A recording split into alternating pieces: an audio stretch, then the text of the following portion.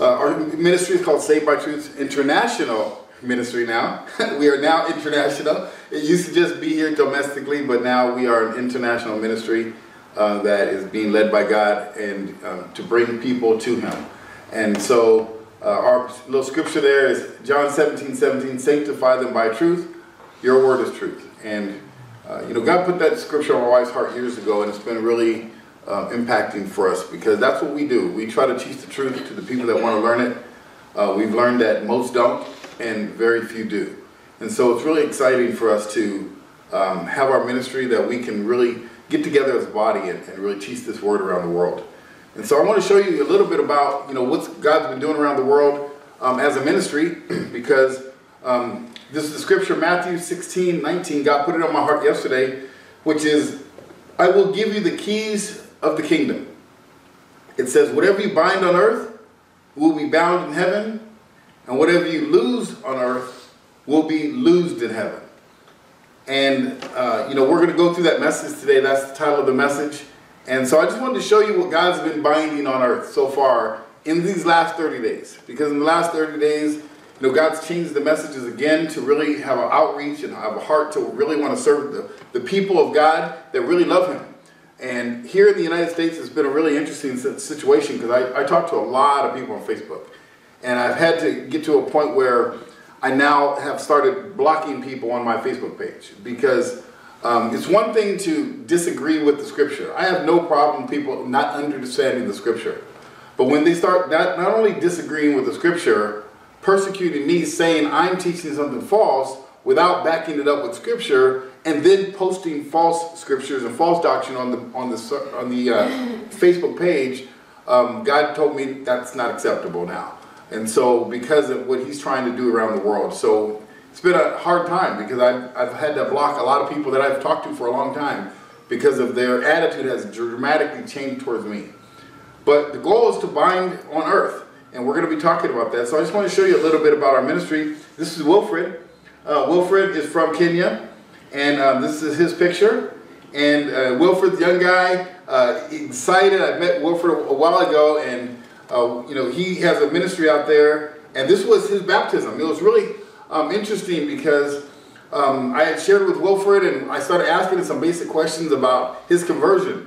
And he had talked about praying Jesus in his heart, and he had accepted Jesus as Lord and Savior. And I said, okay, are you open to learning a little bit about some different things because the Lord's been showing us about some different scriptures? And he said, yes. And so I started teaching him about baptism and, and what it meant. And he said, well, shoot, I need to be I need to be baptized because I haven't had my sins forgiven. And, you know, like for us, if I wanted to get baptized, I could literally go upstairs to the pool, um, to the bathtub, or I could go around the corner to the pool, or find a bottle of water somewhere. But this gentleman couldn't find a bottle of water. There wasn't anything near him. So he had to go for miles to go find a place to get baptized. He took one guy with him and said, I'm going to do it. And he went and got baptized for the forgiveness of his sins. And he came back rejoicing and he started sharing with his ministry. And so here's some of his ministry. Uh, he has a lot of kids in his ministry that they teach God's word to. Um, and then also, you know, some of the parents, they're all together over there. And, you know, this is where they live. This is their housing area. You know, it's not the best, cleanest place in the world, but they do what they can do. And they have an online donation program that they they raised a little bit of money because Wilfred's son was in the hospital also, and thank God um, he was able to raise enough money to get him out of the hospital and pay for the medicine, which was um, because he had pneumonia and he also had malaria. Um, his little baby son, he sent me pictures the other day. And so I just thank you for the prayers and the people that you know decided to, to give for that as well. It's been really encouraging because they teach a lot of these kids um, God's word. And this is just some of the pictures. There's a lot more as well, but I just want you to keep them in your heart because they're disciples and they're making disciples. And Wilfred has another story, which I'll tell you in a little bit. But um, some of the parents, they have around 20 something parents in there and adults. And he's been studying with them and he's now starting to baptize the parents because they didn't understand baptism for forgiveness of sin. And you just watch what that's going to do. It's going to explode here soon because of, you know, God's Spirit will go forth. And then there's another gentleman named Chris. Chris is from Uganda. And um, this is Chris uh, out there. And again, this is the areas where he lives. And um, you know, this is something that we did for him. Uh, he needed a computer, by the way. With Wilfred, he got a computer as well. We got him a computer and a projector. The reason why is because they teach God's word and they project it. They want to project it to a group of people. And he was just telling me yesterday that um, they're setting up an auditorium for 100 people to start teaching this God's word, and they need speakers. So I'm working on um, having a garage sale this weekend so I can try to generate a little extra income for them so they can actually get the speakers so they can broadcast this out to over 100 people. Um, and, and that will come into this message and learn uh, the teachings of God. And they're now starting to teach what we teach, just so you understand. They're not just teaching something else. They've taken our videos and they got the computer now. They've learned about the Sabbath day. They've learned about the commandments. They've learned about the baptism. And not only have they learned it, they are now teaching it. There's a difference. It's one thing to learn it. But it's a whole other courageous and bold thing to actually take what you've learned and actually teach it to someone else. And they've only been with our ministry less than a month. And they're already teaching it. Because that's the heart of God that these guys have. This is another gentleman, John. I'm really excited about John because John is amazing. I call him John. I don't know how to actually pronounce his first name. It's Agabai uh, or something like that. But John, we love you, man. And John is amazing. I mean, he said, bro, you don't even have to warn me about the Sabbath day. I'm going to be there. And he has some brothers, and he said he's going to be on the computer with him. Uh, we actually got him a computer too. But something else that got John asked me to do for him uh, which I didn't understand. He, he wanted, um, there's a TV station out there called DRTV. It's kind of like our cable.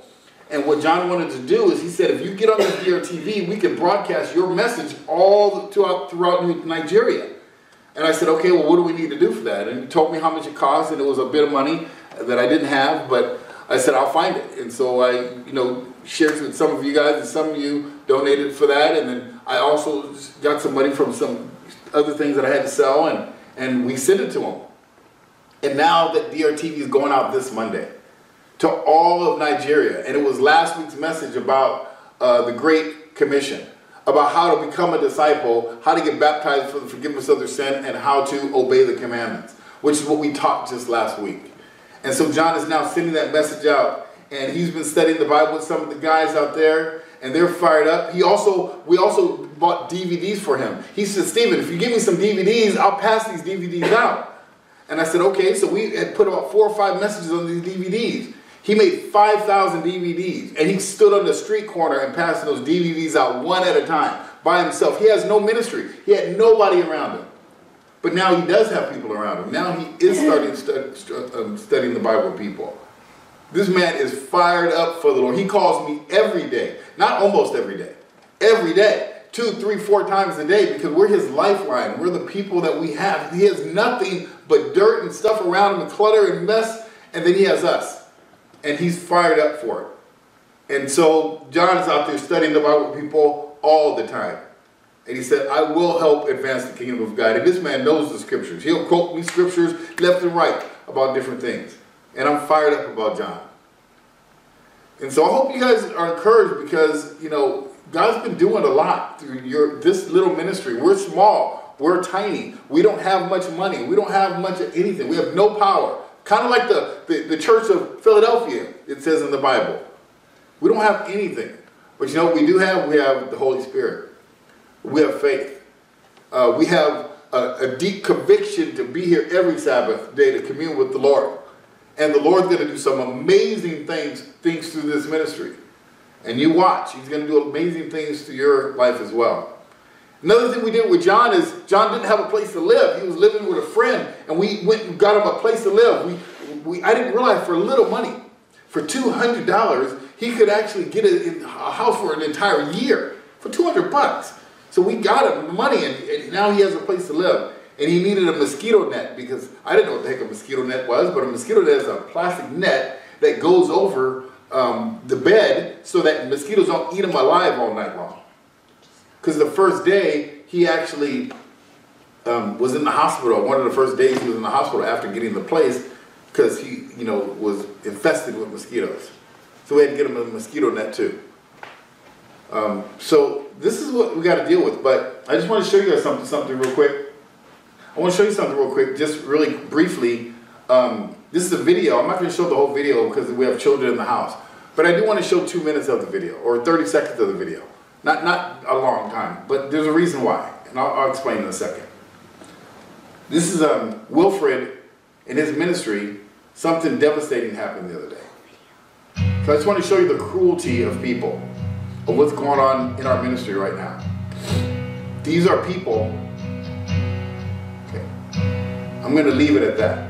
I'm going to leave it at that. I'm not going any further. This is a five minute video. And this was the most cruel, inhumane thing I've ever witnessed with my own eyes. And it, it messed me up to the point where I came home yesterday distraught in my heart. And I took it out on my family. So I just want to first of all apologize to all of you yesterday for you know blowing up at dinner and not being um, as loving and as kind, as gentle as I could have been. And so I'm sorry because after seeing this, you guys, you don't understand, it messed me up inside because there was nothing I could do about it and I wanted to. And to see these people, these are disciples in our ministry and Wilfred's ministry that were ready to be baptized for the forgiveness of their sin. And these men decided in that town that they don't have enough food to eat. So to, to help deal with the food issue that they don't have, they decided that they're going to kill off the old people. And they all were, had weapons, and they surrounded them. That's why there was a lot of people around, but no one did anything. Because they were armed. They had guns. And they were armed so that the people couldn't stop them from doing it. And what you didn't see here, what you're not seeing in this video, is that they beat these people with sticks. And they beat him down into a, into a hole in the ground, into a little cavern in the ground. And they beat him to the point where they were laying down, they threw sticks over him and they burned him alive. That's what they just did on this video. And Wilfred must have taken this picture with his camera because he sent me the whole five minute video. And I just want you guys to know this is what's going on in, your, in the world with your brothers and sisters because we are in the end times. And this is just what we see. Can you imagine what we don't see? If this is what we see, if this is what they're boldly doing just because they're hungry, you can't imagine what's happening in Brazil and in Argentina and in Puerto Rico and stuff that's going to happen over in Hawaii and in other countries around the world. It's scary, you guys. And this is the time we live in today. This is 2018. This is not years ago. This is right now. So God wanted me to just share that with you just so you can understand why this is the time that we need to have the keys of the kingdom and, and help teach this message around the world. If you guys want that video, you'll be able to see it online later. But I just wanted to share that with you because the Lord told me people need to have this in their heart they need to be um, convicted about this message, about what's going on. And if this is challenging for you to see, good. It should be. Because we have it easy over here in the United States. We, we may have suffered. We're all suffering in different ways. I've suffered in my health. My wife has. All of us have suffered in different ways. But our suffering is nothing in compared to what other people are suffering. Because not only did Wilfred see this, witness it personally to his people he's been preaching to, the rest of the day he was joyful. The rest of the day he went and preached the message. The rest of the day he was talking to me on Facebook and getting together with pastors and, and talking about the situation because they're scared. But they're still teaching the message. They're still preaching the word of God. They didn't stop and say, oh, I can't do anything now because of that. No, you know what he did? They went and preached the word. They were bold and courageous, like that song said. So today we're going to go through a message today that God put on my heart, which is the keys to the kingdom of heaven. Can you pass this over, please? So we're going to go through this message today. So let's look at some scriptures. We're going to start at Matthew 5, I'm sorry, Matthew 19. Matthew 19, actually Matthew 19, and we're going to start in verse 16. Matthew 19, starting in verse 16. Actually, I get it backwards. It's actually Matthew 16. I wrote it backwards on the paper. It's Matthew 16, verse 19.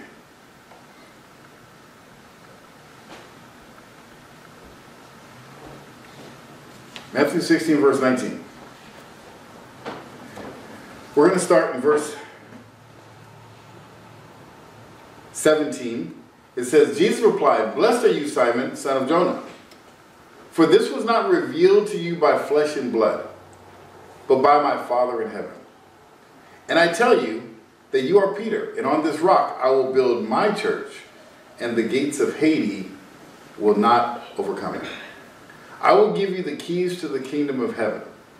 Whatever you bind on earth will be bound in heaven, and whatever you lose on earth will be loosed in heaven. Then he orders his disciples to not tell anyone he was the Messiah. So there's a couple things that God wanted me to put here, and, and on your on your little notepad there or your paper, and, and you want to write this down if you don't have the scriptures handy. But it says here that he was telling Peter that on this rock, which he is the rock, so on himself he was going to build his church. The church is built on Jesus Christ.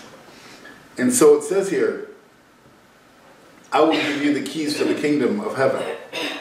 So if you look at what it says, I will give you the keys to the kingdom. So we would all want to know the key to the kingdom of heaven. And so look what it tells us what the keys to the kingdom of heaven is. It says, whatever you bind on earth will be bound in heaven. And whatever you lose on earth will be loosed in heaven. So on the paper, God inspired me to, to write down whatever it says here. This is a blank line there. If you notice, it says, whatever I. So what God wants you to do right now is fill out the rest of that sentence. Because when he was telling Peter this, he would start talking to Peter. But right now, when he came in Matthew 28, he told everyone to go make disciples, baptize them, and teach them to obey the commandments. So if you look at what this says here, it says, whatever I, what would be the rest of that sentence? Bind on earth will be bound in heaven. That's right. Whatever I bind on earth will be bound in heaven. And whatever I lose on earth will be loosed in heaven. So we got to ask ourselves the question what is the only thing that we can bind on her earth and take to heaven? The only thing we can do are two things. Number one, we can bind ourselves on earth and make it to the kingdom of heaven. That's number one. The other thing we can bind on earth and take to heaven is other people. So you want to write that on the paper. So one, we can bind ourselves on earth and take it to heaven. We can bind other people on earth and take it to heaven. And that's it. Not our cars, not our money, not our career, not our soccer career, not our college education, not our, our friends, not our family, nothing. Nothing. Our friends and family if they're obedient to the scriptures. But there's nothing else we can take to heaven but ourselves and other people with us. So we got to start asking ourselves, how many people are we attempting to take right now? How many people do we have a heart right now that we're trying to bind on earth so we can bind them in heaven? So we're going to talk about what it means to bind someone on earth. To bind. What does that actually mean to bind? I know if I got um, a, a string right now, a rope, and I wanted to bind something together, I would tie it real tight, right? I would tie it tight enough so it doesn't come loose. Right? So I would tie a knot so tight that, like in basketball, my son plays basketball, he goes, he has to double knot his, his shoes, right? Why does he double knot them? So in the game, while he's playing the game, they don't come loose and the shoes fall off. That'd be embarrassing in the middle of a basketball game. Shoe fly off, right? So you want to double and you want to bind it tight. So in the same way, that's an attitude that we need to have towards ourselves and towards other people. So we're going to look and see what the Bible says of what it means to bind and how we bind ourselves. So let's go at 1 Timothy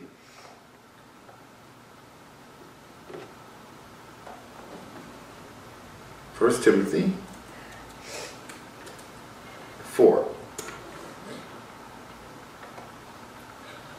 First Timothy 4, we're going to start in verse 1.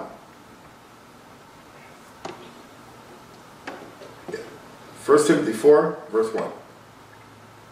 It says, The Spirit clearly says that in the later times, some will abandon the faith and follow deceiving spirits and things taught by demons. Such teaming, such teachings come through hypocritical liars whose conscience are seared as with a hot iron. They forbid people to marry in order to abstain from certain foods which God created to be received with thanksgiving by those who believe and who know the truth. For everything God created is good, and nothing is to be rejected if it is received with thanksgiving, because it is consecrated by the word of God and prayer. So that's one important thing to understand is that there's some people that are deceiving people by teaching false teachings and false doctrines out there.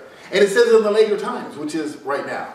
So we got to be aware of one of the things that we got to do for ourselves and purify ourselves is we got to be aware of these false teachers. And that's the reason why on Facebook, as now, which I didn't do before, um, when people start doubting the scriptures, I don't mind us going back and forth having a dialogue because it's an understanding issue. But when people start to accuse me of teaching false doctrine without backing it up with any scripture, and then wanting to post their own false doctrine on the, on the site, they're done now. I have to now block them. Not because I'm mad at them, because I have to watch myself from that. Because God tells me that that's going to happen. I got to, you know, protect the, the body of Christ because of that. And the people that really want to know the truth. And here's why. Uh, because look what it says here. It says, they, let, us keep reading. Let's just keep reading verse 6. It says, if you point out these things, if you point these things out to the brothers and sisters, you will be a good minister of Christ Jesus, nourishing on the truth of the faith and of the good teaching you have followed. That's why I'm sharing this message with you, because I want to be considered a good teacher and minister of Christ as well. So I'm sharing this message with you because the Bible told me to. Another thing it says here in verse 7, it says, Have nothing to do with godless myths and old wives' tales. Rather, train yourself to be godly. This is another reason why I don't have those conversations any longer.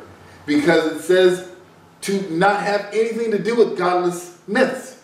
And that's exactly what people are doing. I show them techniques and show them things about the Bible, about how the Sabbath day works, and then they want to throw up their own wives' tales and myths that they've learned from their pastors or from the Jews or from someone else. And I, and I try to show it to them, and they won't understand any logical thing that makes sense. They want to come up with their own opinions and ideas, so it says have nothing to do with them. And you need to learn to not have anything to do with those two. You want to give people time to repent. You want to give them the opportunity. If they're open to learning, that's one thing. But if they start doubting what you're teaching, then the Bible says have nothing to do with it. Look what it says. Verse 8 For physical training has some value, but godliness has value for all things, holding promise for both the present life and the life to come. This is a trustworthy saying and deserves full acceptance. This is why we labor and strive, because we have put our hope in the living God, who is the Savior of all people, and especially those who believe. Look what it says next. Command and teach these things. What does it tell us to do? Command. Command and teach these things.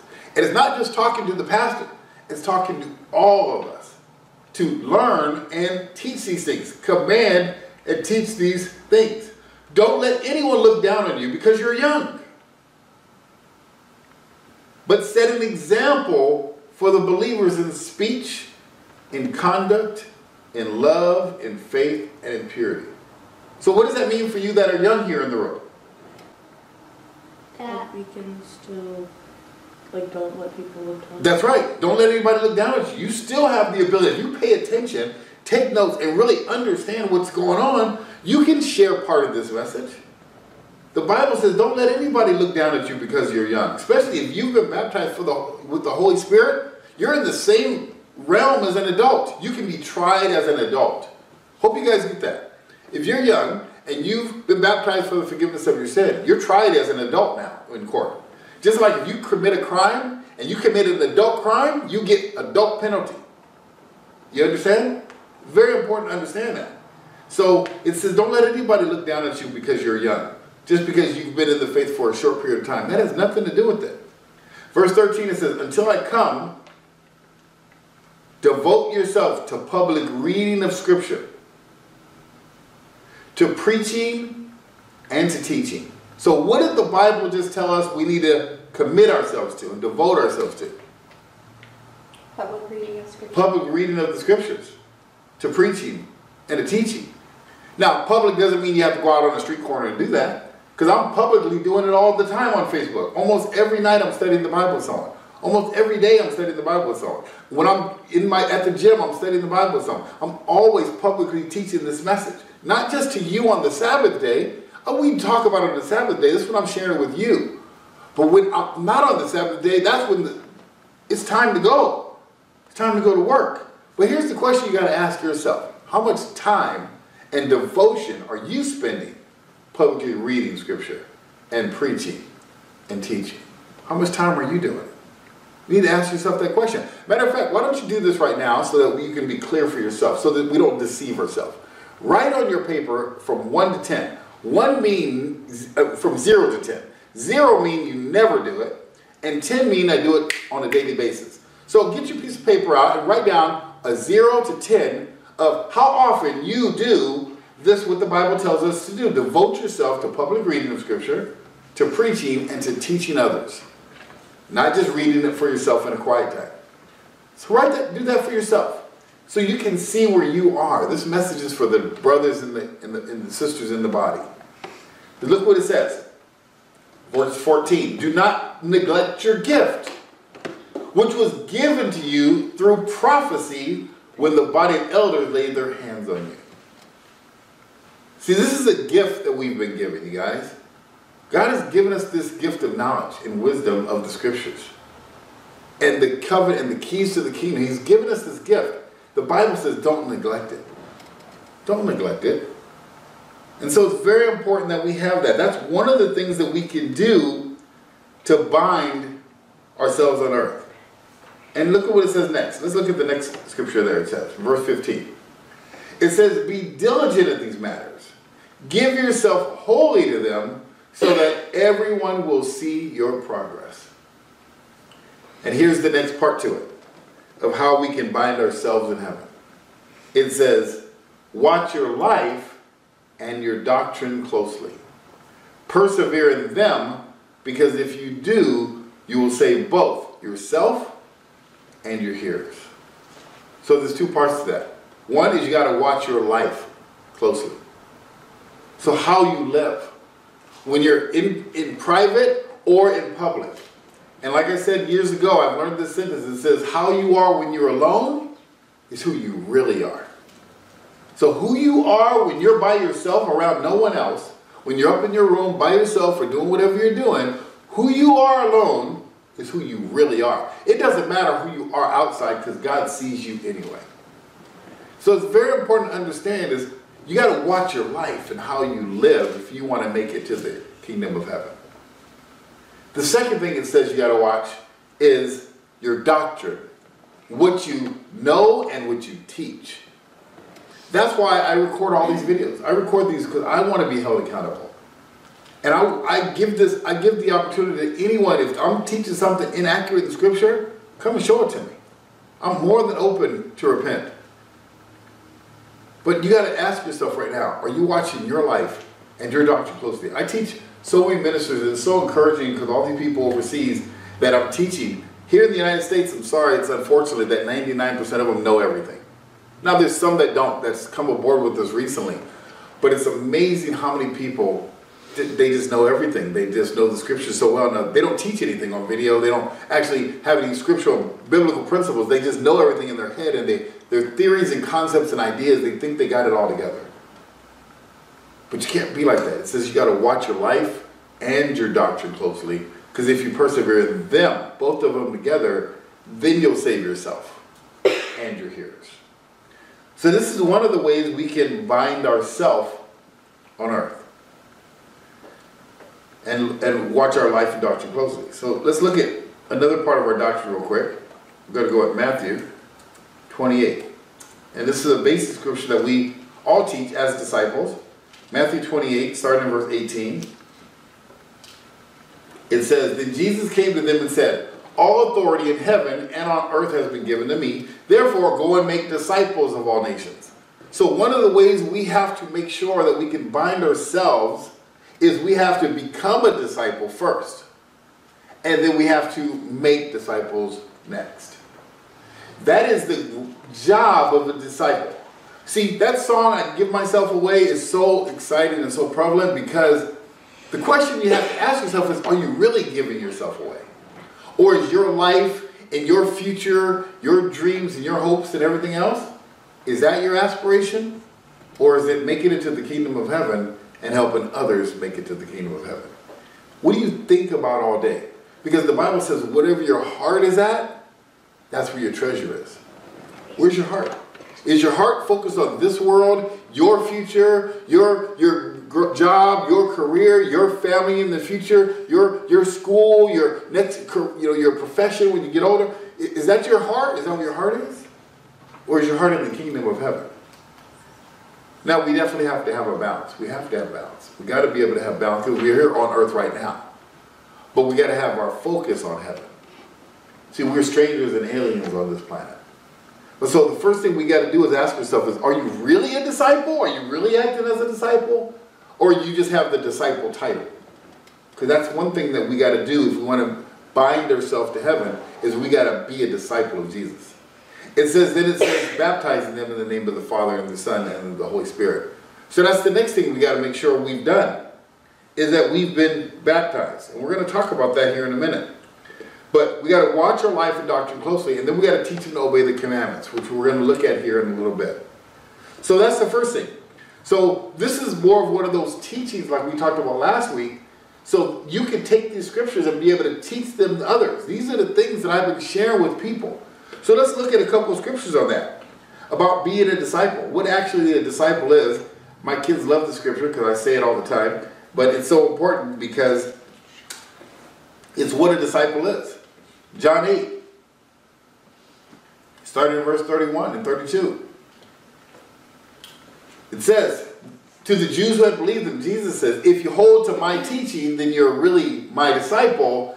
Then you will know the truth, and the truth will set you free. So a real true disciple of Jesus holds to Jesus' teaching. This is something we stress all the time because I talk to so many people and they want to teach me that a day starts at night. Now, the Bible clearly says a day starts in the morning, but because they've been branded and taught that a day starts at night by the Jews, they're not following God's teaching. They're not following what they've been taught. If they just read the scriptures, they know that a day starts when the morning starts. If you ask any three-year-old child, when does a day start? Every one of them will say when the sun comes up.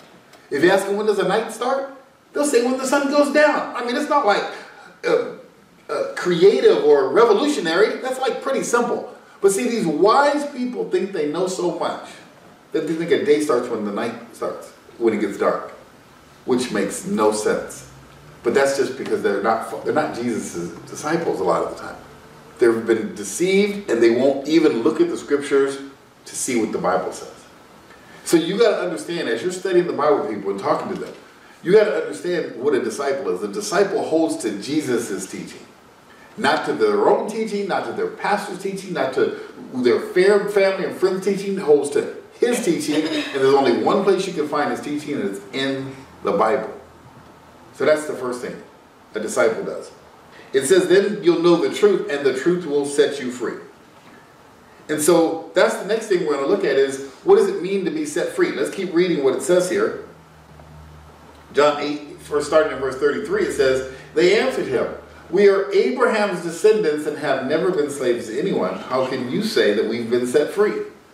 Jesus replied, Very truly I tell you, everyone who sins is a slave to sin.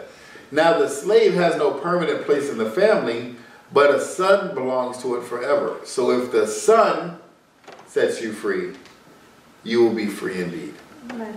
So here's the question we got to ask ourselves. How does the Son, which is a capital S, we know that's talking about Jesus, how does Jesus set us free from sin? See, because you have to become a disciple first, and then you'll learn the truth. And so, what is that truth that sets us free from sin?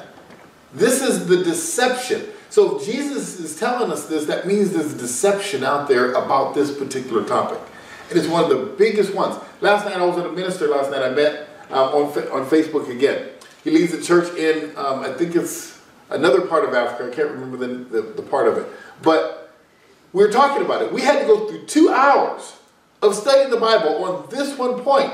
Because I asked him, well, how did you get your sins forgiven and how did you receive the Holy Spirit? And his answer was, well, you know, I, I, I went I said the prayer, I said a, a, prayer and I accepted Jesus in my heart as my Lord and Savior. And, you know, I confessed it with my mouth and I really believed that Jesus was Lord. And then I acted on my faith. I said, okay, so, you, so let me just make sure I'm clear.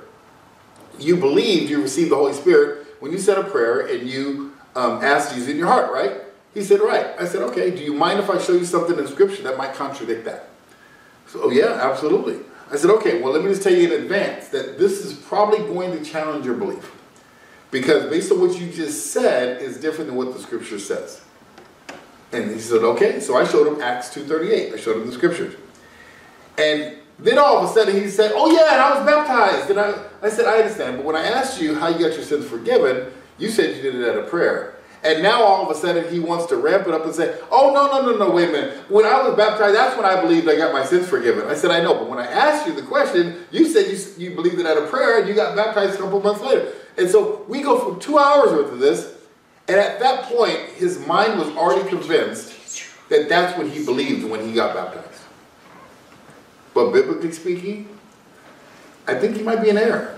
I think he believed, just like he said he did, that he received the Holy Spirit out of prayer and when he confessed with his mouth and believed in his heart. And then when he saw the scriptures about baptism, then he believed about baptism. So what does that tell you? That he was deceived in his knowledge. In other words, his doctrine was off.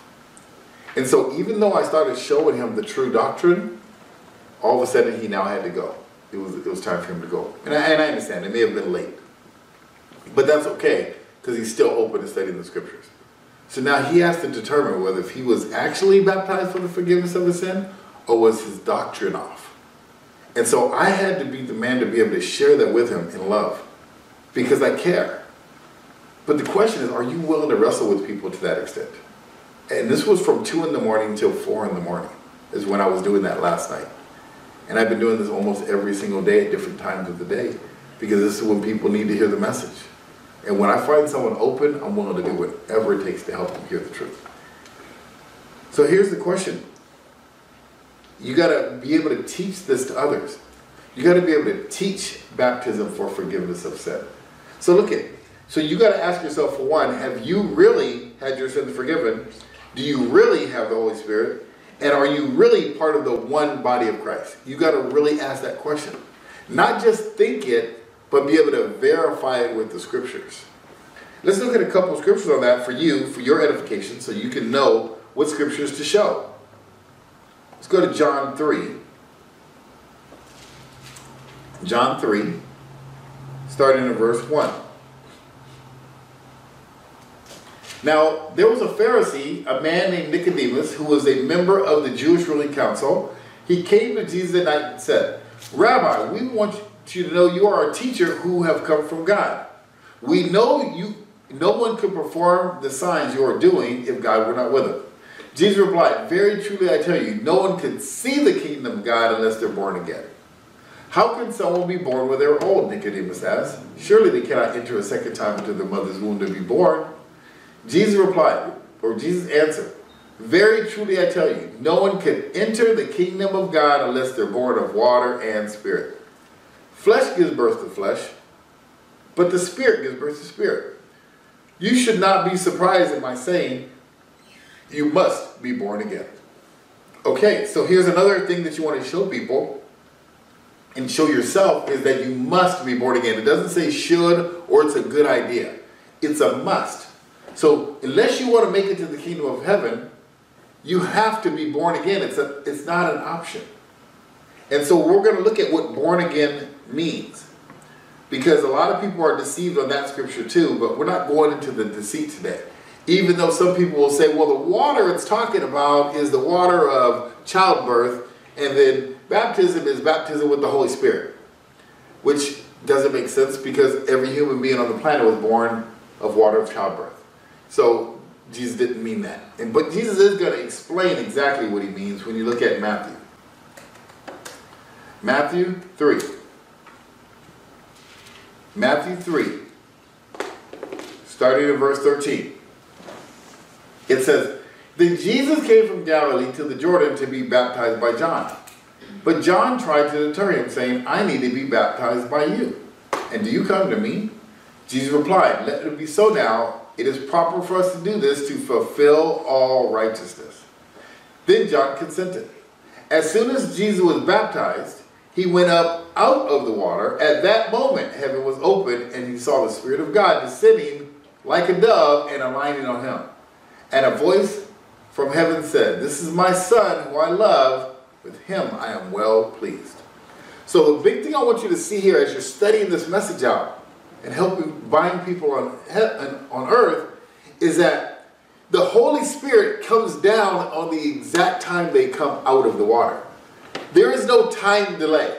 You don't get baptized today and receive the Holy Spirit six months later. Or you don't say a prayer, receive the Holy Spirit from some sinner's prayer, and then go get dunked later in water for baptism. That doesn't make sense. See, Jesus gave us the perfect example right here of what his baptism is. So it's very important that you understand how to explain this to people as you're trying to bind them on earth. This is one of the things that binds them on earth is their baptism. Now, I'm going to show you why. Jesus did a demonstration for us so we can have something to look at. So now we don't need to have any misunderstanding. Two things happened here. One, he was baptized in water. Wasn't baptized just by the Holy Spirit. He was baptized by the Holy Spirit in water.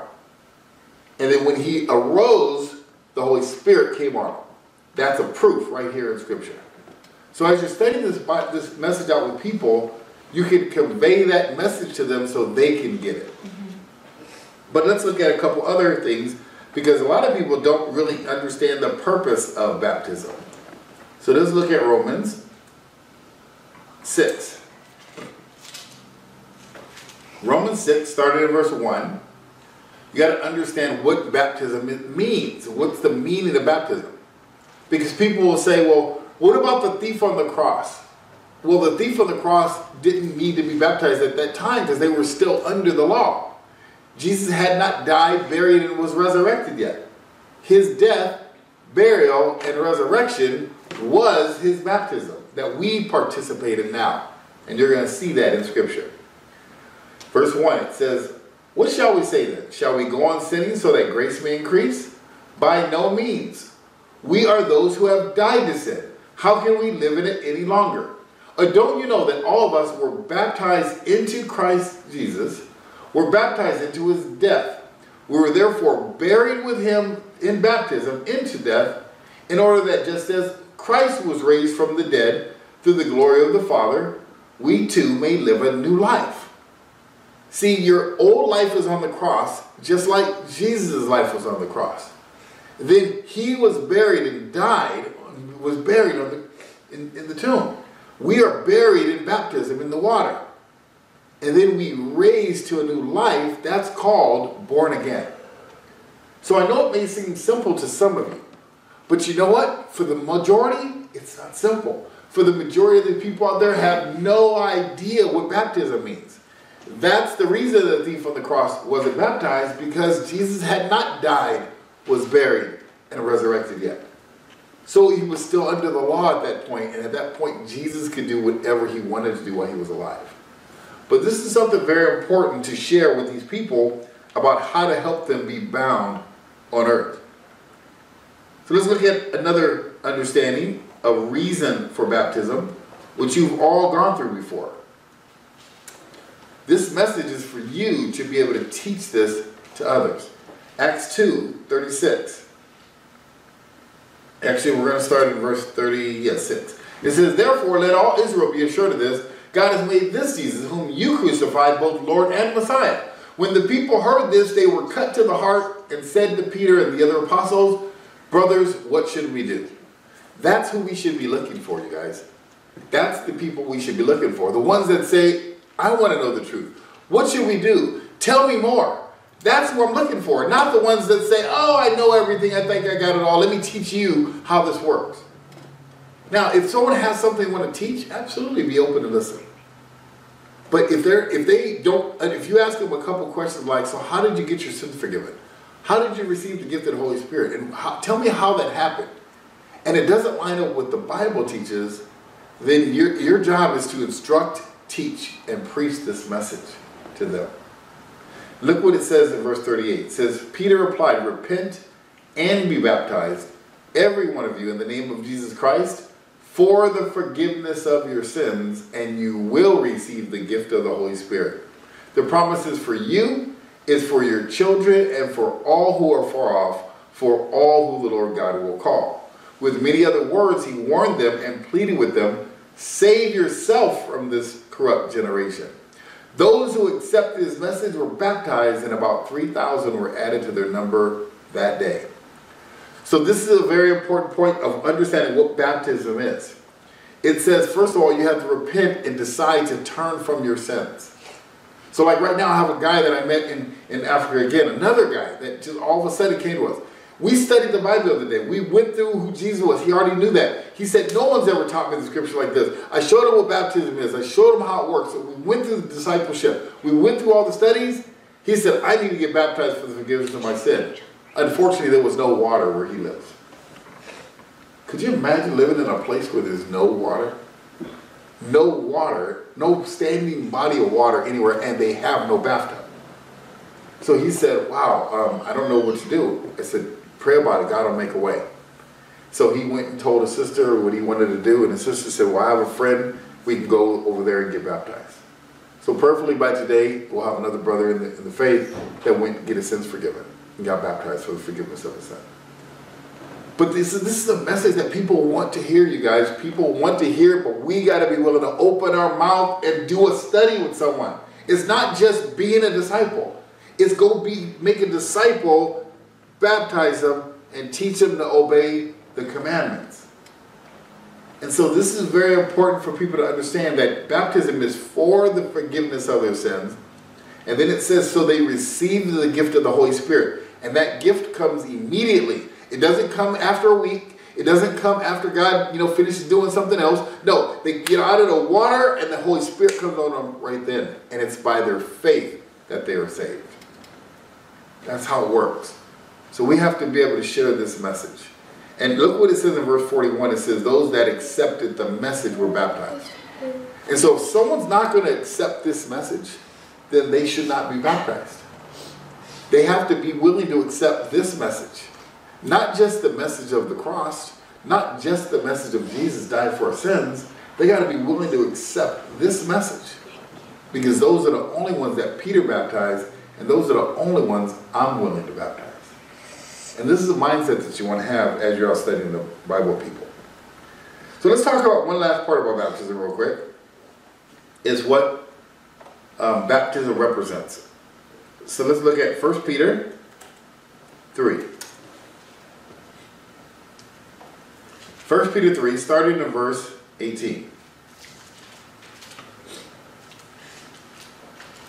It says, For Christ also suffered once for sins, the righteous for the unrighteous, to bring you to God. He was put into death by the body, but made alive in the spirit. After being made alive, he went and made proclamation to the imprisoned spirits, to those who were disobedient long ago, when God waited patiently in the days of Noah while the ark was being built. In it, only a few, eight in all, were saved through water. And this water symbolizes baptism that now saves you also. Not from the removal of dirt from the body, but a pledge of a clear conscience towards God. It saves you by the resurrection of Jesus Christ, who has gone into heaven and is at God's right hand with angels and authorities and powers in submission to him. So this is where another one of those deceptions get kind of squashed because people think that baptism is an outward sign of an inward grace. And but what the Bible says in verse 20 it says that baptism now saves you. See, the baptism is what saves us from our sin. See, our sins are washed away just like the flood of Noah washed all the sin away that was on the earth. You understand? That's how it works. Just like when the Israelites passed through the Red Sea, the, the water came and washed away all the sin of the Egyptians, and they were freed on the other side. That was their baptism. You can read about that in 1 Corinthians. So it's very important to understand that the water symbolizes baptism of the flood. The water, baptism isn't a symbol, it's the water of the flood, which is the symbol. And so it's very important that you convey this message with people because people are deceived out there. So God wanted you to understand how to articulate the message to other people. So baptism is part of what saves us from our sin. And that's why, if you notice here, we can have a good, clear conscience towards God. Because now all of our past sins are gone. And now we can strain towards the future.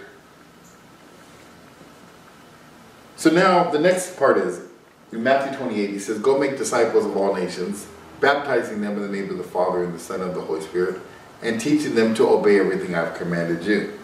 So what did he command them? Obey the commandments. And let's look at that. We're going to look at Deuteronomy 5.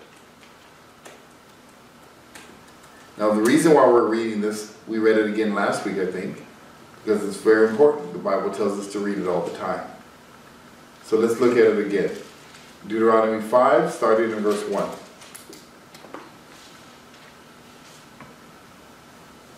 It says, Moses summoned all Israel and said, Hear Israel, the decrees and laws I declared in your hearing today, learn them and be sure to follow them. What does it say to do? learn them and just hold them in your heart and do nothing with them, right? No, be sure to follow them. So this is the thing that God wants us to understand is that we want to make sure that we individually are honoring these commandments. Let's look what it says. The Lord our God has made a covenant with us at Horeb. It was not with our ancestors that the Lord made the covenant, but with us, with all of us that are alive here today. And I'm going to say the same exact thing right now. The Lord's brought back his covenant to us. Because if you look in the scriptures, God divorced Israel and took away his covenant.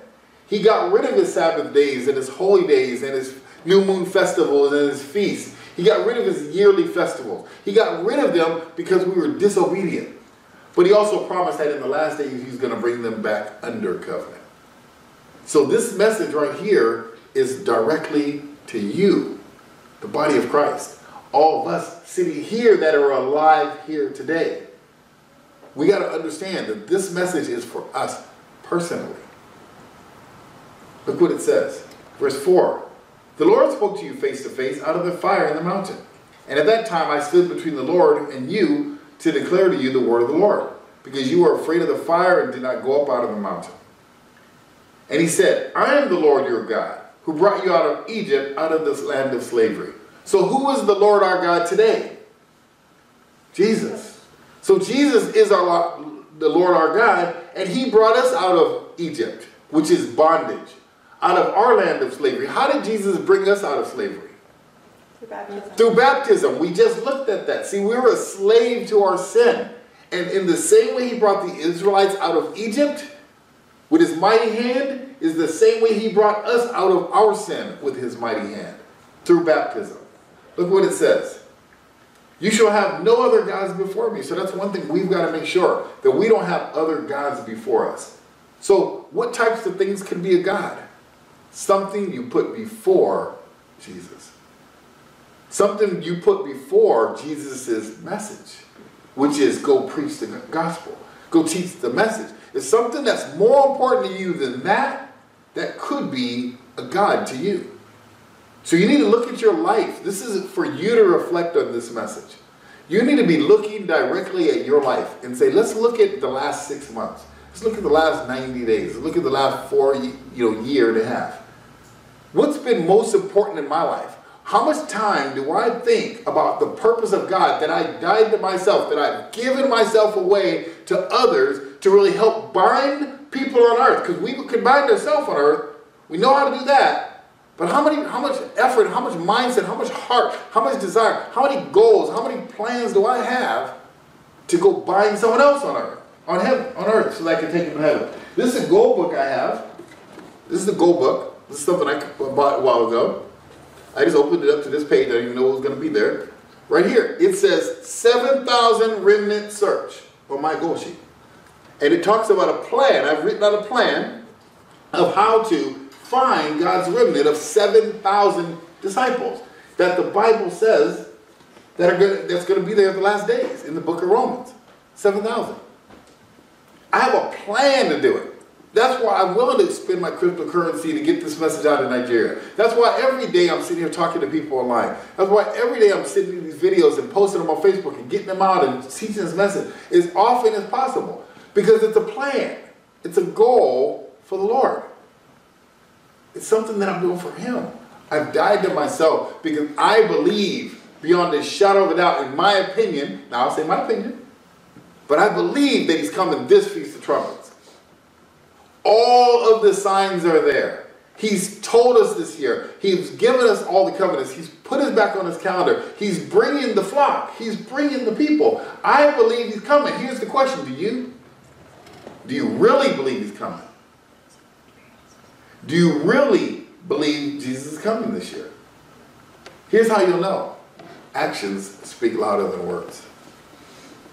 Because if you really believe he's coming, ask yourself, are you putting in the heart to even have the idea or even inclination to bind someone on, on heaven? Because what does Jesus want? He wants people in heaven. He wants to fill up his wedding banquet. He wants the people that want to know the truth to be there. Yeah, are you even uh, even in your in your intellect, even in your thought process throughout the day, that that's a desire of yours to help someone new you don't know today? Someone you don't know today become a disciple tomorrow and get their sins forgiven. Is that even in your psyche? Is it even in your daily agenda? If not, then you need to look and see as other things become your God. Because you've been baptized for the forgiveness of your sin, and that's your plan, that's your mission as a disciple. Everything else is extra. Everything else is extra. Let's keep looking. That's just the first commandment. Let's look at the next one. You shall not make for yourself an idol, an image in the form of anything in heaven, um, um, above and on earth beneath, and the waters below. You shall not bow down and worship them. For I, the Lord your God, am a jealous God, punishing the children for the sins of the parents to the third and fourth generation of those who hate me, but showing love to a thousand generations of those who love me and keep my commandments. So we got to make sure that we don't have something else as an idol. We don't have something else as an image or a graven image of, of the Lord. We've got to make sure that we're not doing that. We love him by obeying his commandments. Look at the third one. Verse 11. You should not misuse the name of the Lord your God. For no one will, for the Lord will hold no one guiltless who misuses his name. Now, misusing his name could mean teaching false doctrine. That's why I'm so careful of the things I'm sharing before I share it. That's why in, these Bible studies, all I'm doing is reading the scriptures. I'm not coming up with my own theories and ideas and concepts. I'm reading the scriptures and we're talking about that. I don't want to be accused of misusing the Lord's name by teaching false doctrine. But you got to be willing to share that with others and let them know that too. Verse 12 Observe the Sabbath day by keeping it holy. So the way we observe the Sabbath day is by keeping the day holy. That means stop doing some of the things that you normally do on a regular day. There's things that you do on a regular day, but today is the day you keep holy. That's why after this message, what I usually do is I'll I'll edit the video. I'll somehow get it up on Facebook and YouTube so I can get it ready to send out. I'll study the Bible with someone tonight. I'll do my best. I'll spend time with the family and go out and hang out and, and keep that day holy with the family. I'll play with the kids and go to the park and I try to do different things than I normally do on a regular day to keep this day holy. Holy is different for every person, of course. But you need to ask yourself, are you really keeping this day holy? And if not, you need to be, be repent and start keeping the day holy. But another thing is you need to be teaching this to other people. Because there's so many people that don't keep the Lord's day holy. And it's very important. Look at the next one. Honor your father and mother. As the Lord God commanded you, so that you may live a long, long in the land. I'm sorry, so that you may live long and that it may go well for you in the land the Lord your God has given you. This is to the kids, and it's to the parents, it's to us as well.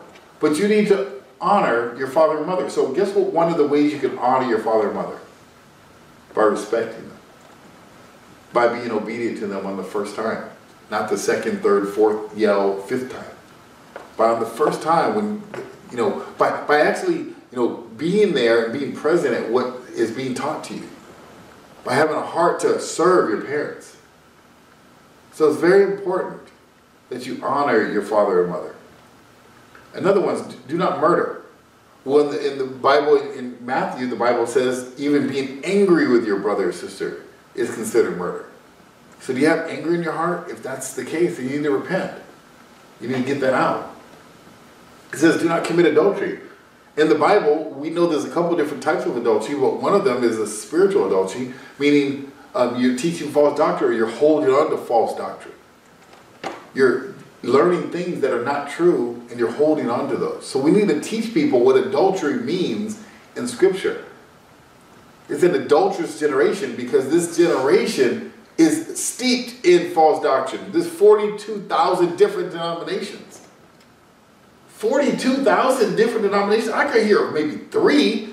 I mean, this one Muslim type of Muslim. This one Buddhist.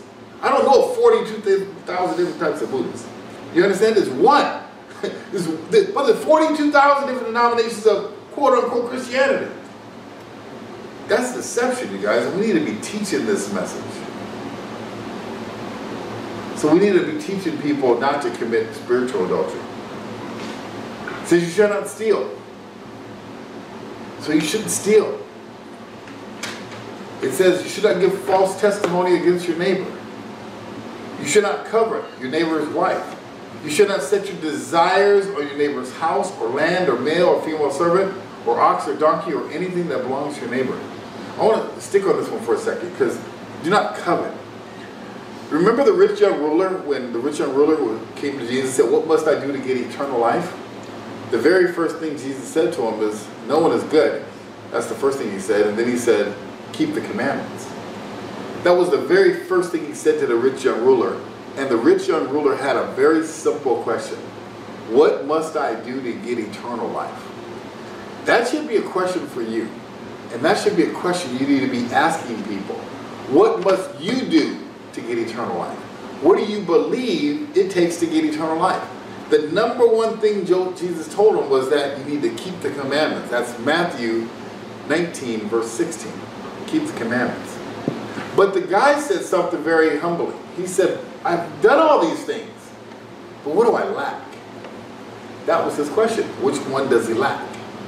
And the one he lacked was the one Jesus is talking about here in verse 21. It says, You should not covet. In other words, he loved money. He loved money. Money was his, his God. And that was probably one of the idols as well. You know, his money was his desire. But look what it says here. You should not set your desire on your neighbor's house, male, female servants. Guess what else you shouldn't set your mind on? What everyone else has, being like the Joneses. Setting your heart on things of this world. Setting your heart on what everyone else is doing or whatever else has or, or is getting is going. That's not what we need to set our hearts, especially if we believe Jesus is coming on the Feast of Trumpets. Now, it could be this feast, it could be next feast, but all the signs are pointing to this feast. I'm putting my money on this feast, just like I did every year. But you know what? Every year he gives us more signs to look at. And this year, there's been the most signs by far of any time. So if you believe that, you don't want to be coveting anything in this world. Bible says someone who loves the world a, has hatred towards God. So it's very important that you know you bind yourself on earth but you need to be teaching this message to others so that you can bind them on earth and get them focused in the right direction. Their focus is off. Why do you think Satan made all these video games and made these TV shows and made all these sports and made all this stuff? Why do you think he did that? So we're not focused on the Lord. That's why he did it. So our focus is not on Him. That's why He gave you a, a, big screen on your cell phone and a big screen TVs, and He gave us all this fun stuff and amusement parks and par- things to go play and friends and play dates. He gave us all this stuff so you won't focus on the Lord. And He's done a darn good job of it too. Because most are not focused on the Lord throughout their day. Matter of fact, they almost don't focus on the Lord unless they read their Bible for a minute or three, and then they come to the Sabbath day. Or they go to church, or they go to the synagogue, or whatever it is that they consider themselves doing. See, most are not focused on the Lord, and they definitely aren't focused on His purpose. And His purpose right now is to bind on earth and bind in heaven. And the only way that's going to happen is through disciples of Jesus that know the truth. And we're the disciples of Jesus that know the truth. So this is very important. So now that we've read, you know, all these commandments, look what it says, verse 22. So these are the commandments the Lord proclaimed in a loud voice to the whole assembly there in the mountain and from out of the fire and the cloud and the deep darkness, and he added nothing more, and he wrote those them on two stone tablets and gave them to me. Of course, we know when Jesus came and sent the Holy Spirit and came down on Pentecost, he put the Ten Commandments on our heart. He, we know that. We know he put the Ten Commandments on our heart. And so, in the same way, he's given it to us again. But now let's look over Deuteronomy 6 real fast. Deuteronomy 6.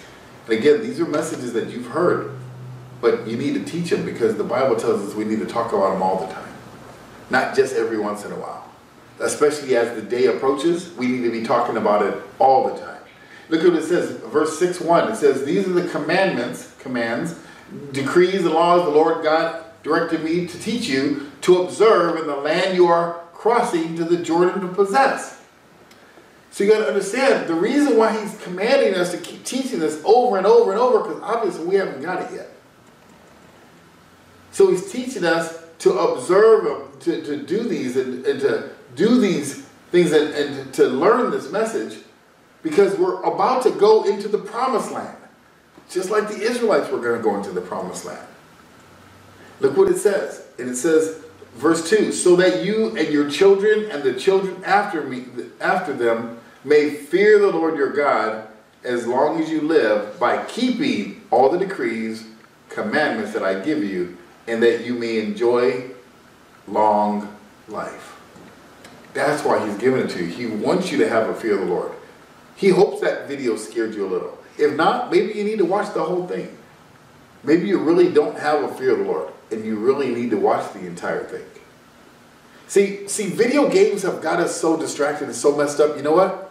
My 10-year-old son wants to watch the video of people getting killed. See how distra- see how messed up um, video games have done? Because he's so used to playing video games of killing people, we're seeing people die in real life isn't even that bad. Isn't it amazing how that is? It's not even that detrimental to an 11 year old child. It's just that's what video games do to us. It, it desensitizes us. That's what TV does to us. That's what all this worldly stuff does. It desensitizes us. To where my 11 year old son will raise his hand excited to watch people get killed on a video.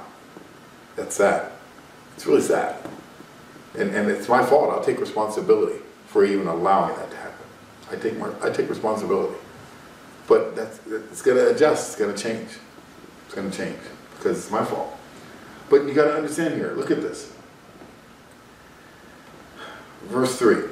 Hear Israel, be careful to obey so that it may go well with you, and that you may increase greatly in the land flowing with milk and honey, just as the Lord, the God of your ancestors, promised you. Hear, O Israel, the Lord our God, the Lord is one. Love the Lord your God with all of your heart, and with all of your soul, and with all of your strength. These commandments I give you today to be on your hearts. Impress them on your children. Talk about them when you sit at home, and when you walk along the road, when you lie down, and when you get up. Tie them as a symbol on your hand, and bind them on your forehead. Write them on the doorframes of your house and on your gates. So that's the reason why we're talking about this today, guys, is because, you know, we need to really be talking about this all the time. We need to be teaching these commandments to our kids all the time. We need to be purifying our kids all the time and ourselves because we're headed to the promised land. We're headed to the kingdom of God. We know this is the time. All the signs are there, you guys. The Lord's commanded me to prepare you the way, prepare the way for you. Prepare the way, and we've done that. The scriptures have shown you what it takes to make it to the kingdom of God. And I'm doing everything I can to bind on earth so that we can be bound in heaven together. But you have to do something for yourself. If you're engulfed in stuff that's not going to help you make it to the kingdom of health, the Bible says cut it off. Cut it off.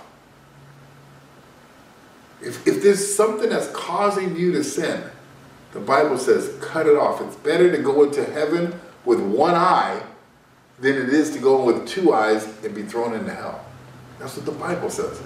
It says if something's causing you to sin and your hand causes you to sin, it's better to chop that hand off than it is to go into hell with two hands.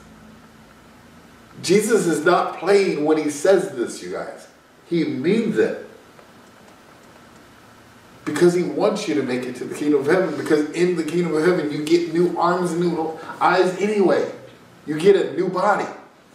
So why does it matter if you only have one hand here?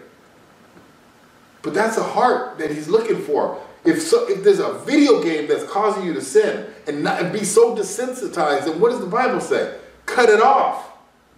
If your cell phone's causing you to sin, because that's all you do is stare at it all day long and all night long. You can't let it be within two feet of you. If that's the case, guess what? The Bible says cut it off. If something's causing you to sin, and it doesn't matter what it is, it tells you to cut it off if that's what it's going to take. Because we have to purify ourselves to be the bride. And so the Lord wanted me to share that with you because you got to ask yourself, are you really keeping the Ten Commandments? Or do you just know about them? Do you have them memorized? Are you really keeping them? Because if not, you need to repent. This is the time to repent. And this is for you, this is for my family, and I, I, I'm here. This is all of our family, but this is the message that needs to be taught to the world. They need to repent. So let's keep going about how we bind others. How do we bind others? Just a few scriptures left on that. So we now know how to bind ourselves. 1 Peter 3. 1 Peter 3, starting in verse 8. This is how we bind others. Look what it says. Finally, all of you, be like minded, be sympathetic, love one another, be compassionate and humble. Do not repay evil with evil or insults with insults. On the contrary, repay evil with blessing. Because to you, you were called, because to this you were called, so that you may inherit a blessing. For whoever would love life and see good days must keep their tongue from evil and their lips from deceitful speech. They must turn from evil and do good. They must seek peace and pursue it. For the eyes of the Lord are on the righteous, and his ears are attentive to their prayers. But the face of the Lord is against those who do evil. Wow. So one of the ways that we help people is we have this heart towards people. And we got to let them know that the eyes of the Lord are on the righteous. We know that the definition of righteousness is obedience to the commandments. That's Deuteronomy 6, verse 24. So we know that God's eyes are on us and he hears our prayers. We see the people getting healed in our ministry. We see the prayers of the righteous. We see challenges too. Satan's on the, on on the path as well. But see, we're still faithful. We're still here. But the face of the Lord is against those who do evil. And we got to let them know that too. Look what it says in verse 13. Who is going to harm you if you're eager to do good? But even if you should suffer for what is right, you are blessed. Do not fear their threats. Do not be frightened, because in your heart revere Christ as Lord. Always be prepared to give an answer to everyone who asks you to give the reason for the hope that you have. See, the hope that we have about the Feast of Trumpets, that's our hope that we're going to make it to the kingdom of God on the Feast of Trumpets. And I believe it's this year. And if anybody asks me, I can give them 15 reasons why I believe it's this year. Can you? Do you have that knowledge? It's on the videos. Have you watched any of my videos again in the last six months? Any of them? Have you just take the time to go on YouTube to watch one of the videos so you can really learn it? Because yeah, you may have heard it on the Sabbath, but do you know it? Have you learned it? Do you, do you have the heart to really want to learn it so you can teach it? Because the Bible tells us to be prepared with an answer of why you have this hope. Why we know the bride's coming. Why the Feast of Trumpets. Why that's the day. Why this year the day? Why do we believe we're at 6,000 years? Do you know the answer to that question? Because the Bible's given it to you. We've shown it. We've shown it on video. So do you know the answer? Because the Bible's told us that we need to be prepared to give an answer. Look what it says. But do it this with great gentleness and respect, keeping a clear conscience, so that those who speak maliciously against your good behavior in Christ may be ashamed of their slander. For it is better, if it is goodwill, to suffer for doing good than for doing evil. So, you know, he didn't say we're not going to suffer. He just said if we're doing good, it's a blessing to suffer. I saw a brother yesterday on Facebook. He had this T-shirt that said something about "You need Jesus," and he lives in a Muslim country in Africa. And he had this big bright red shirt on with white letters that said, um, "You need Jesus." Now, in his city, they kill each other. The Muslims kill Christians, but he's bold enough to wear a red shirt, and he has that shirt on and out in the public teaching people that they need the Lord. And you know what he said in his Facebook message? He said, I'd rather die doing good than to sit back and do nothing. Do you guys have that heart? Are you really acting as a disciple? Do you really have the heart for the people that are lost? You got to check yourself. You got to really ask yourself that question. Because that's what I'm asking myself all the time. And it's a balance, trust me, to be able to work and, and pay the bills and run, lead this group and lead my family and go to the soccer practice and be a dad and be a husband. It's, it's a balance. It's tough. But it's doable. People are doing it with much worse circumstances than we have. Much worse. If you're living in the, in the United States and you have nothing, you are a hundred times better off than the people in other countries. And you got to see that. You should be ashamed of yourself if you're not doing something for the Lord and dying to yourself. Let's keep looking. So that's one of the ways that we can help bind others. Here's a couple other ways we can help bind others. Second Timothy. Second Timothy 4. 2 Timothy 4, starting verse 1. It says, In the presence of God and of Jesus Christ, who will judge the living and the dead. And in view of his appearing in his kingdom, I give you this charge. Preach the word. Be prepared in season and out of season. Correct, rebuke, and encourage with great patience and careful instruction. So that's the first thing he tells us to do, is that we need to preach the word. And he's not talking to just the men, he's talking to the men, women, and children. To the level that you have an understanding. You have more knowledge about the kingdom of God than virtually everybody on the planet. You have more knowledge about the kingdom of God. So you have to have that heart to be willing to preach the word. And be prepared in season and out of season. He tells you to do several things. One, correct people. If they're incorrect in their teaching, you need to correct them. You got to ask them, are you open to learning something different? That's a great question. You may want to write that down. Ask the question, are you open? Don't ask if they're interested. Ask if they're open. Ask, are you open to learning something different about that, that teaching? When the people say yes, they're open, then I share it with them. So you need to correct people. It says rebuke people. There's people on Facebook, I have to rebuke them because they're teaching false doctrine. And after I rebuke them, sometimes I have to delete them and block them so they can't teach false doctrine to anybody else. You know, they say, Steve, you're so arrogant. I'm not being arrogant. I'm just reading the scripture. I post scriptures on the Facebook. They want to argue the scripture. I show another scripture. They want to argue the scripture. They want to say I'm teaching false doctrine when I'm posting scripture. I say, you know what? No problem. You have a blessed day, and I'm done. I don't get mad at them. I say, I have a blessed day. And I thank them for being there, and I pray for them. And that's it. Has nothing to do with being arrogant. It has to do with what the Bible tells me to do. It says encourage. I encourage people. This people over in different countries, I'm encouraging them. I'm encouraging them that the Lord has not forgot you.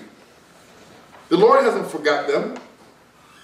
Yes, they may be going through some challenges, but I can guarantee you the Lord has not forgot the poor. The Lord has not forgot the people that are suffering. The Lord has not forgot these people over there. He's coming for you. Have you told anybody that? Have you shared with anybody, any friend or family, that the Lord wants you to know the truth? That the Lord cares for you? That the Lord wants you to know what it takes to make it to the kingdom of God? You got to be able to encourage people also.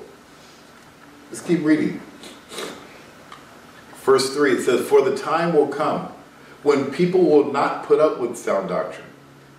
Instead, to suit their own desires, they will gather around them a great number of teachers to say what their itching ears want to hear. They will turn their ears away from the truth and turn aside to myths. But you keep your head in all situations, endure hardship, do the work of an evangelist, discharge all the duties of your ministry. And that's what we need to do. Because we are in that time right now when people are not looking for sound doctrine. They're not keeping sound doctrine. They don't even want to put up with it. I put a basic, simple scripture out there about the Sabbath day. They tell you how crazy it is for us to count to seven after we see a new moon. That's crazy. But the but uh, this one guy tells me the moon was created on the fourth day. Well, well, what did we do for the first three days? There's no sun and moon. The first three days is so stupid. It makes no sense. So sound doctrine is not even there. Common sense is not common in 2018 right now. For parents, to let their kids decide what gender they want to be in. See, common sense doesn't exist anymore. There's no more common sense. It's uncommon to have common sense. So th this is happening right now. You got to understand this. But for us, we have to keep our heads in all situations. We got to endure hardship when we're preaching the word. We got to do the work of an evangelist. If you notice, it doesn't say become an evangelist. It didn't say that, did it? What did it say to do? Do the work of an evangelist. Meaning you're not an evangelist. You know what you are? You're a high school student. You're a mother. You're a parent.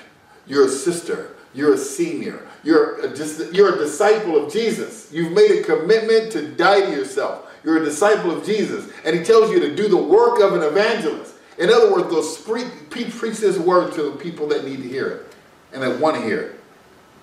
And God has now given us the tools to be able to touch all four corners of the world. It's called Facebook. There's two billion people on it. Search for someone that's looking for the Word of God and go talk to them. They give you the free ability to speak to them. They allow you to message them and talk to them about the Word of God. That's what an evangelist does. They go evangelize the world. And this needs to be our heart because we have the truth. We've been given the keys to the kingdom. We've been given the knowledge of the truth. If we don't teach it, who's going to? There's many churches out there, many pastors going to Africa, going to South America, going to different places around the world, teaching false doctrine, and they're teaching it with zeal. They're excited to go preach uh, the sinner's prayer. Or say, um, just accept Jesus as your Lord and Savior and you're saved. Oh, they're fired up. They'll go die to themselves to teach that. But us that have the knowledge of the truth, that have the eternal protection, that have God's Spirit in us, that have God around us, that we have the power that can move mountains, but we won't go talk to somebody because we don't feel comfortable doing it. We should be ashamed of ourselves. We are the movement. We are the Church of Philadelphia. That God has given us this information to be able to teach the world. And He's given us the tools. We are without an excuse. Without excuse. Let's look and see who we should be talking to. Matthew. Matthew 5. Matthew 5, starting in verse 1. Now Jesus saw the crowd. He went up on the mountainside and sat down. His disciples came to him, and he began to teach them. He said, Blessed are the poor in spirit, for theirs is the kingdom of heaven. Who are those people? Where, where do they live? Where are the people that are poor in spirit? Do you think, do you think Wilford right now and all the brothers and sisters, 20 or 30 brothers and sisters out there, they just saw somebody's parent just get burned to death in front of them? Do you think, do you think they're poor in spirit right now? What do you think? You think they're hurting? They're not sitting in a nice comfy living room or in their house, you know, on a Sabbath day enjoying a beautiful sunshine. They're looking for something to eat right now. That's what they're doing. They're trying to find a way to, to have some food today. They're poor in spirit, but look what the Bible says. It says, For theirs is the kingdom of heaven. It says, Blessed are those who mourn. Do you think they're mourning right now? What do you think? You think they're mourning the people that they just saw and killed? I think they are, because I'm mourning them. I've never seen anything so horrific in my life. Well, except for old movies, where I was desensitized for it too. But I'm not desensitized anymore. It says they will be comforted. And I pray that, you know, Wilfred's taking this message, and John and those guys, and uh, and other people that we'll be able to share this message with, and um, we can comfort them with the knowledge of the truth and give them hope that Jesus hasn't forgot about them, because he hasn't. It says, Blessed are the meek, will they'll inherit the earth. The humble, the meek. You should see all these people just sit over there in the middle of the dirt doing absolutely nothing all day. But they still love Jesus. They have not denied his name. Kind of like it says in the church of Philadelphia. It says, Blessed are those who hunger and thirst for righteousness, for they will be filled. And this is who we should be looking for on Facebook by asking a question Are you open to learning something about the new Sabbath day? It's not Saturday or Sunday. Are you open to learning about it? Because there's a lot of people out there that are hungry and thirsting for righteousness. I met another brother on Facebook from my old church. Now, nobody in the church, none of the leaders want to hear the message, but I met one brother and we talked and I asked him, Are you open learning? And he said, Yes. We spent four hours studying the Bible yesterday, the, the day before yesterday. And we went through the Sabbath day. And he said he was going to be on here today, and I don't know if he is, but because I know it's like midnight out there or something. But he was fired up. He said, I will honor the Sabbath starting from this point on. And I am going to teach to my family. And he's in my old church. And I pray that that little seed can spread throughout the ministry in Nigeria or wherever he is out there. Because there are people that are hungry and thirsty for righteousness. Because he said, man, no wonder why I know something. I knew something was dead in our church. I couldn't put my finger on it. Yes, because they knew uh, him elementary teaching.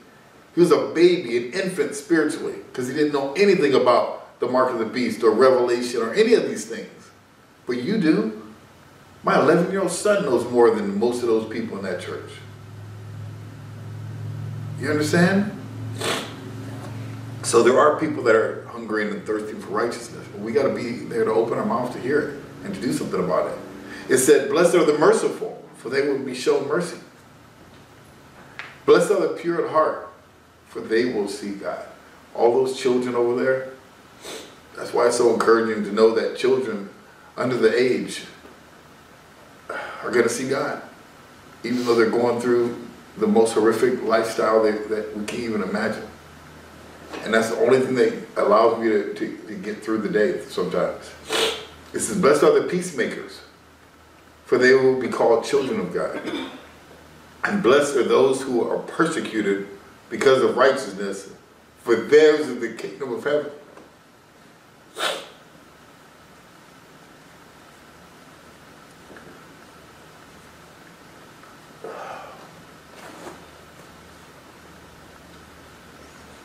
We haven't been persecuted over here. Not yet.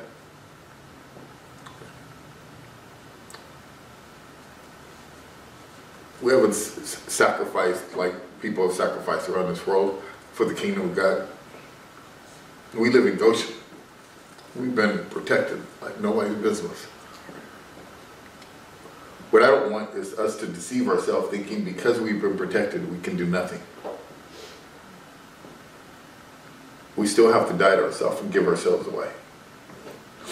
And we still gotta let our light shine. When it says, blessed are you when people ins- insult you, pursue you, and falsely say all kinds of evil against you because of me. Rejoice and be glad because your reward is in heaven.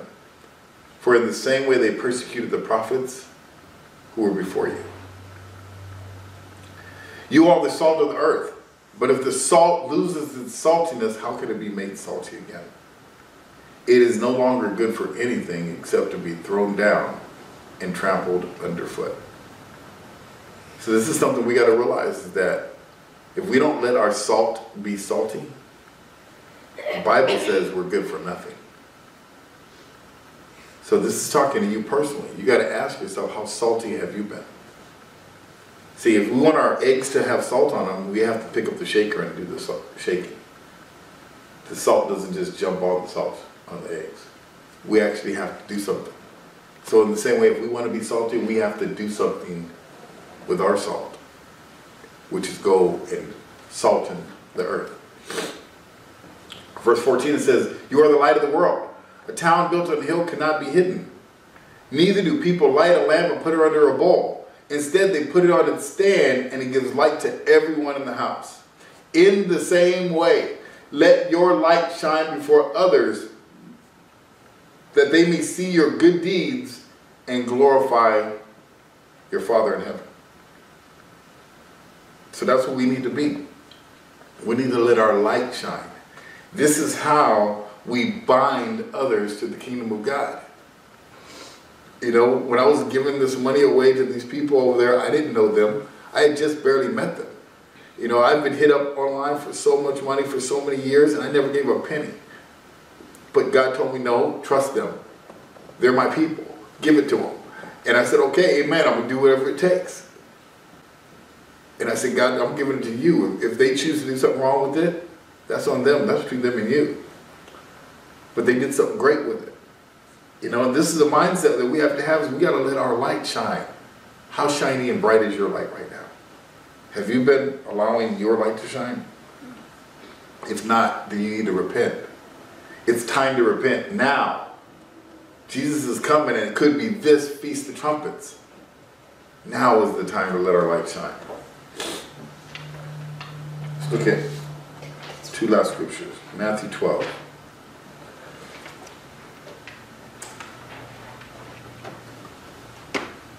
Matthew 12. Starting in verse 12.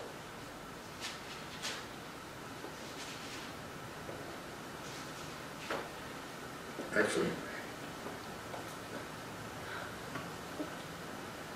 that wasn't the scripture I was looking for. It's actually Acts 2.31. Acts, go to Acts. Acts 2.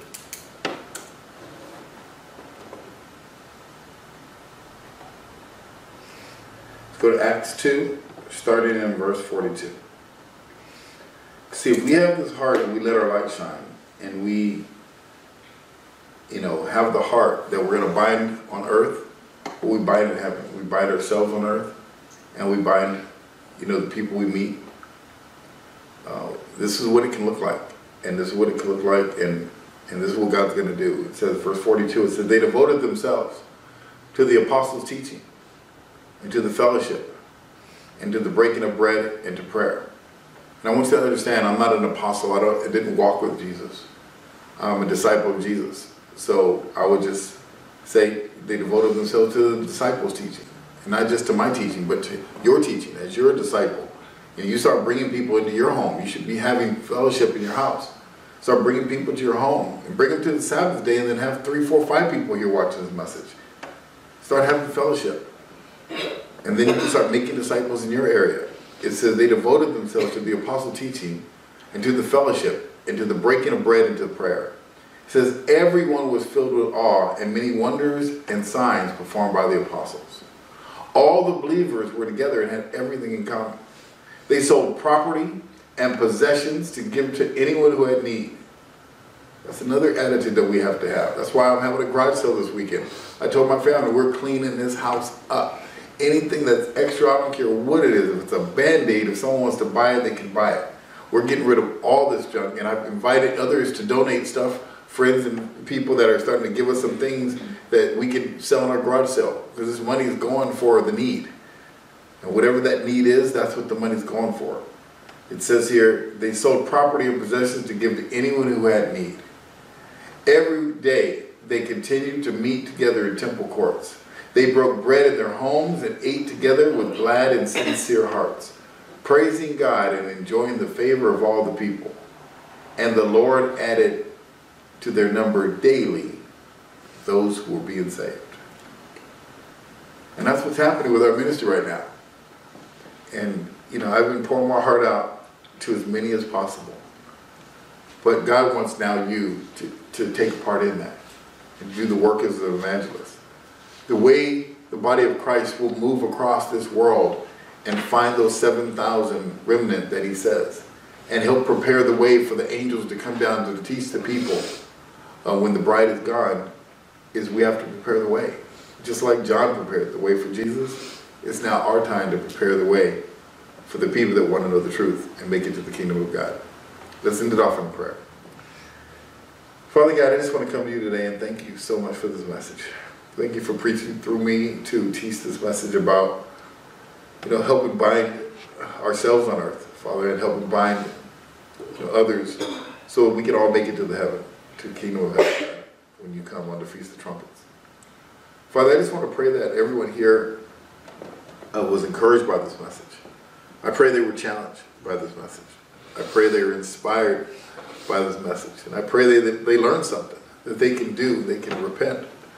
Father, I pray that everybody here will set goals, very specific and deliberate goals, with intent to achieve them, to help as many people as possible make it to the kingdom of God. Father, I pray they look at their list of friends and they look at list of families and they give them one more opportunity, one more shot to hit them right between the eyes and be bold and direct with love, to be encourage them to look at the scriptures, Father. I pray for the people that are lost, the people that are out there that don't know Jesus, that, that want to know. I pray some of them can come as well. But Father, I pray for the lost sheep of Israel.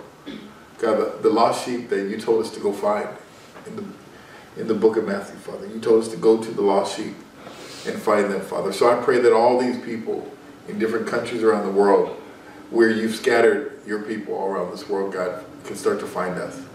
Can find individually one of us and, and we can share that message and invite them to the Sabbath day. And if we have to send them a computer, then that's what we need to do. If we need to help them in any way to be able to get to this message before September 11th on the Feast of Trumpets this year.